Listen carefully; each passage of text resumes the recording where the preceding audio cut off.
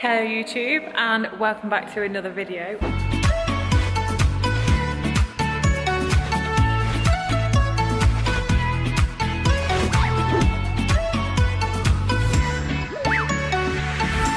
If you're new here, welcome. If you're still here, thank you. I'm here in Fitness Works today because this is where I'm working out. Thanks for joining me. Today is all about building muscle. Kind of like a building muscle 101. I think that's even a thing. I just want to talk through the basics of it. Uh, but yeah, all the, the basics to building muscle. Um, my key points that I would suggest for you guys and just a little bit of a, well, a little bit of a different style video for you. So, first things first is training. You need to be in a consistent training pattern to be able to make consistent progress. So, for years and years and years, for my basically my whole fitness career uh, journey has been based around strength training. So whether this being this the style of it has changed over the course of the years, however, the the fundamentals and the basis has always remained the same. So it's always been for strength for to get stronger, whether that's over a longer period or doing it over a shorter period of time. My my overall goal has always been to keep getting stronger, to keep learning new things and yeah, to keep progressing. So ultimately training is a massive thing. So you need to initially make sure that you are in some sort of consistent training routine so that we can then ad adapt that um, adapt that routine so that then you can make sure that whatever you're training, however your training style is conducive to your goals. Progressive overload. So keep continuing to add weights, increase your weights either every session, every week. What I would say is keep a track of your training. So if you're doing a specific building plan, so if you're doing like a six week muscle building plan, or trying to build a certain amount of muscle in a certain amount of time, make sure you are tracking your sessions. Um, that way you can write down your weights how, from week to week and then see how you are doing, how you're progressing, whether you are getting stronger um, and also doing tests. So just doing a test on say your, your big lift, so squat, deadlift, bench, if that's what you're doing. Um, if that's not your sort of thing, just start with the weights that you're using, the exercises that you're currently doing, mark what your what weights you're using at the beginning. What mark mark what weights what reps you're doing at the beginning. And then through, through a course of progressive overload adding different bits and pieces in there.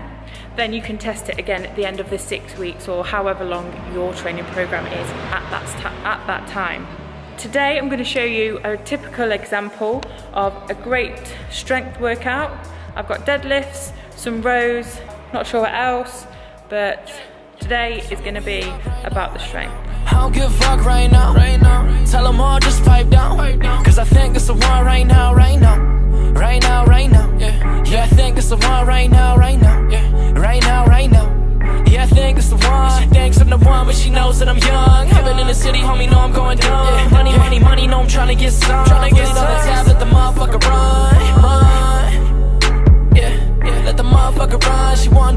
So to put it on its tongue. 30 minutes, it's about to get fun.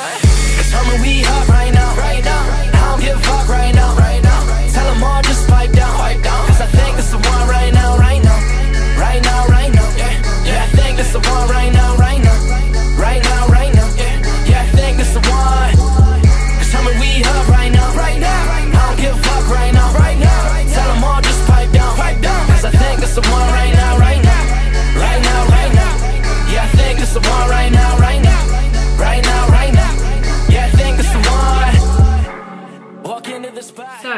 food. In terms of building muscle, I am I'm sure you've heard about calorie surplus. So you need to be eating more calories than you're burning throughout the day. Now, this can be done um, a couple of ways. So you can literally physically eat more calories than you're burning throughout that throughout your day or on an average through the week. Or if you're pretty active at the moment and your calories are around maintenance, what you can do is just literally reduce some of your training. So whether it, if, if that's feasible for your training program. So for example, if you're really quite active in terms of running, cycling, any sort of cardio, um, workouts, that sort of that sort of um, that sort of stuff, then it might be worth looking at just reducing your output rather than increasing your calories if you don't want to increase your food if it's still relatively high at the moment. That's one way of just balancing the scale or changing that scale.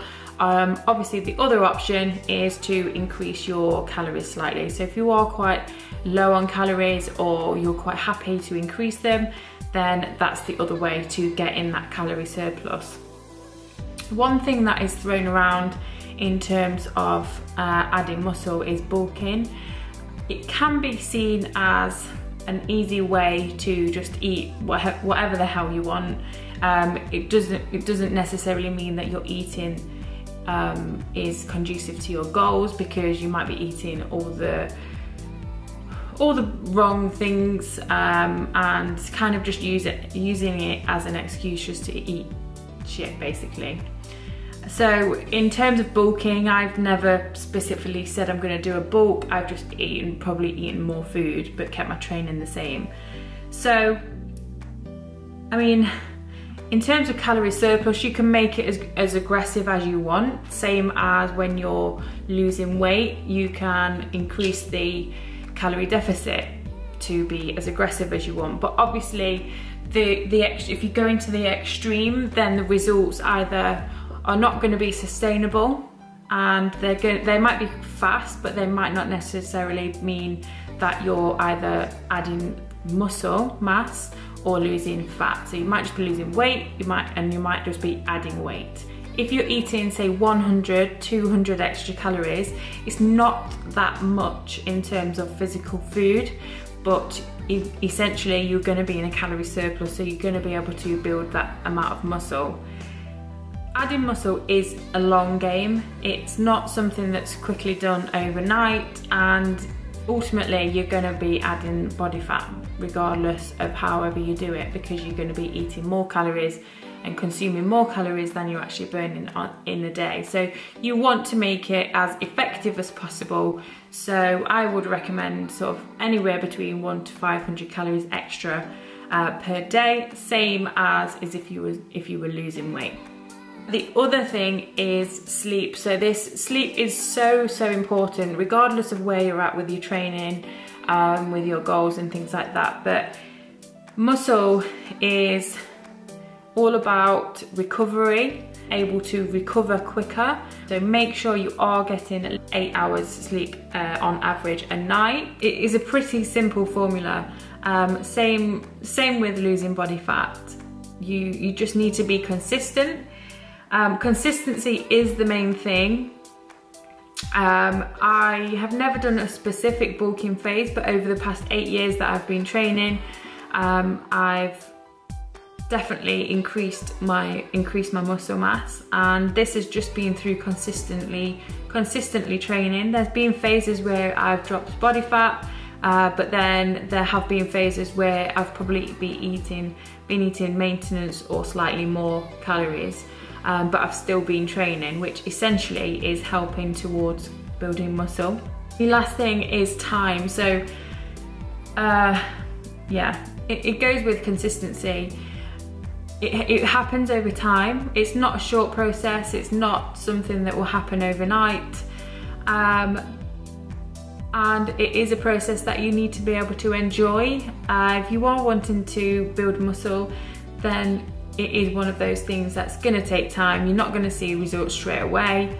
And yeah, it just takes a little bit more patience than I would say fat loss because with fat loss, you can see things happening week after week. With building muscle, you could probably see your strength increasing and things like that, but um, it is more mentally a battle, I would say. But ultimately, um, it's the long game and you'll get there. So I am gonna go head to the gym. I've just had my pre-workout meal and I'm gonna wrap this video up here. I hope you found it a little bit informative. thought I'd do something a little bit different for you. Drop your comments in the comments section below if you do have any questions or comments or anything. Uh, let me know if you are liking my videos as well so far. Don't forget to like and subscribe and I'll see you in my next video. Bye.